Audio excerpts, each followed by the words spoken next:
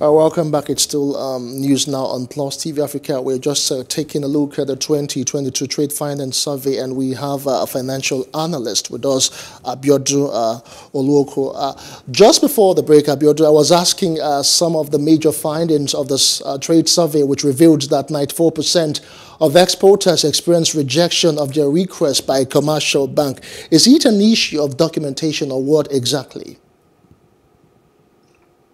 Thank you very much. Um, I can tell you categorically it's more of documentations because banks deal in documents and they want the whole process of export financing to be documented. So for any bank to give you a facility, they want to see um, documentation to show that you have the capacity, meaning you have exported several times, um, you have completed all the forms to show that you um, had a contract, you completed your NXP, you had your bill of lading showing that you have exported and the export proceed comes in. So banks wants to see the documentation from trigger to finish.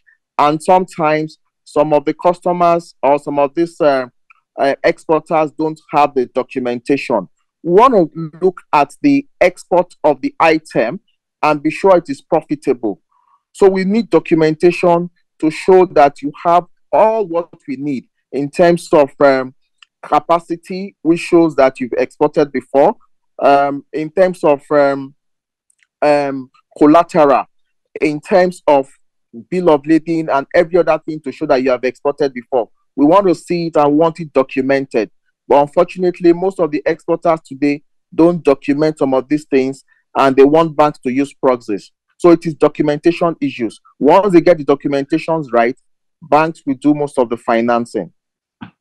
Some documentation right now. I'm still looking at the 21% of the rejected export financing request, uh, which was actually based on inadequate or lack of, uh, you know, collateral security. Or some people would say that uh, most times when they approach um, financial institutions for some of uh, their request or funding issues, that uh, their, the requirement of these banks in terms of uh, security are usually too high.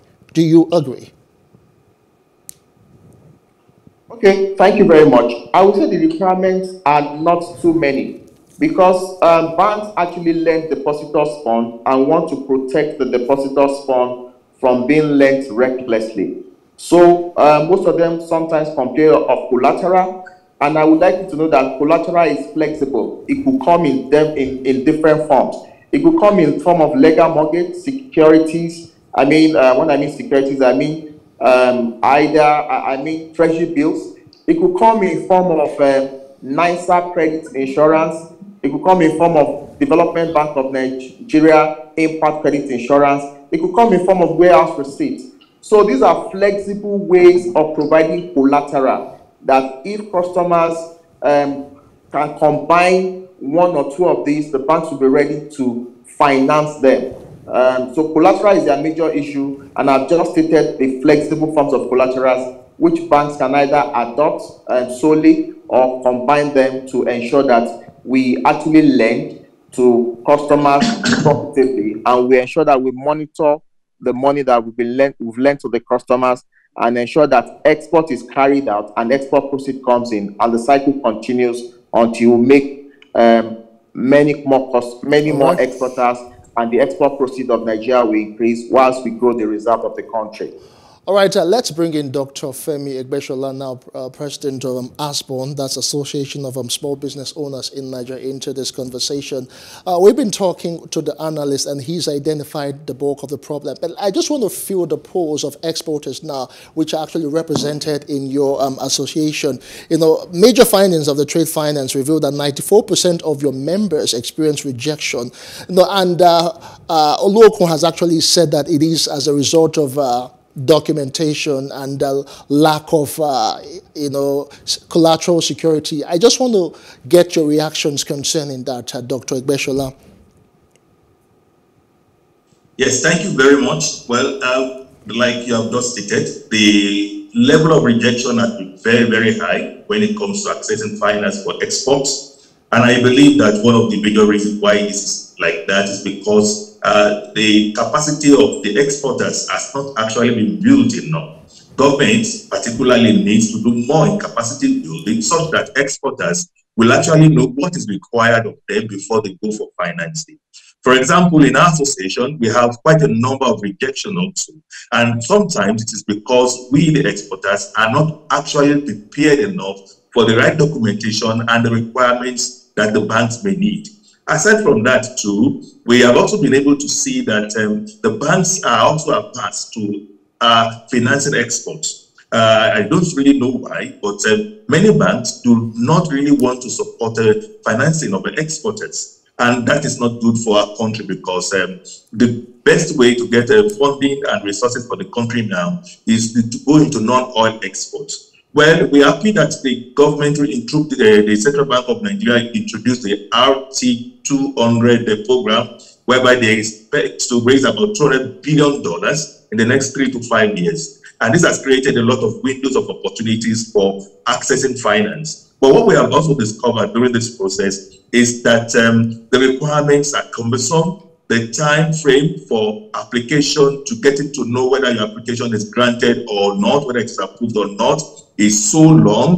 And there are a lot of bottlenecks. I think government needs to put in some key uh, indicator performance index to be able to monitor their policies. When government does policies in a particular sector, there is need to monitor, to do uh, monitoring of the impact and assessment of this policy, right. such that they will know whether it is actually successful or not, rather than just uh, being on the paper. As far as this RT 200 uh, program is concerned, to us, we, have, we feel that um, the process has not been beneficial enough to our people because we have not been actually able to, able to access uh, this funding and these windows of opportunities. Right. We also are happy that the banks now are also uh, doing some capacity building. We have quite a number of banks now ready to do uh, uh, workshops, uh, seminars, and symposiums to be able to sensitize the exporters about what is expected of them when All they right, come Dr. for funding. We want to encourage we want to encourage quite a number of exporters to also take this advantage and get to you, know Dr. what, the banks require of all right, I'll get back to you now, but just before I bring you back, let me just uh, quickly get um, the opinion of uh, Femi, uh, not Femi, rather, Abiodun Oluokun. Uh, Abiodun, I really need to understand how uh, high inflation rate and um, forex have been attributed as some reasons for lack of growth of non-export volume in Nigeria. Abiodun, very quickly. Thank please. you very much. You are spot on. Um, inflation has been a deterrent to a lot of exporters. So um, if you go back to the prices of agro commodities, it has more than um, quadrupled within the last one year. So an exporter that either to now needs say $10 million to export a container of uh, hibiscus flower will now be needing close to like four times of that to do the same business. So inflation has negatively affected the exporters and it has reduced their capacity to export. However, for foreign exchange, the exporter is actually benefiting from um, depreciation in naira. So whenever exchange rates or naira depreciates, exporter will be better off because it's going to get more naira than if naira was appreciating. So inflation will have a negative impact because it will not be able to export as much. Um, but uh, foreign exchange will actually be positive for them. All right, thank uh, So it will be positive impact for forex, negative impact for inflation. All right, uh, just before we go now, uh, Dr. Egbesola, I need to understand that 57% of exporters have actually identified um, access to export finance, uh, port logistics, and delays by government agencies at the port. How do you really react to this, uh, Dr. Egbesola?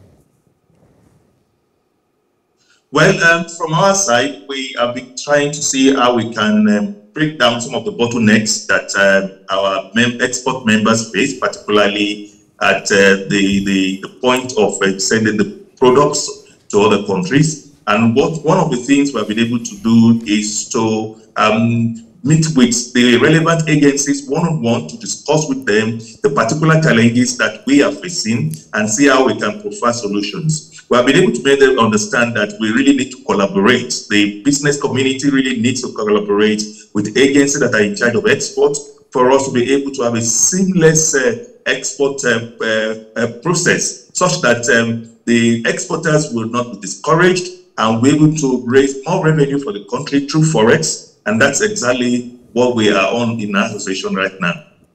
All right, thank you so much, um, gentlemen. Uh, we uh, were joined by Dr. Femi Egbesola, uh, president of ASBON, that is the Association of Small Business Owners of Nigeria, and of course, Abiodun Oluokun, a financial analyst. Thank you so much, gentlemen, for your time.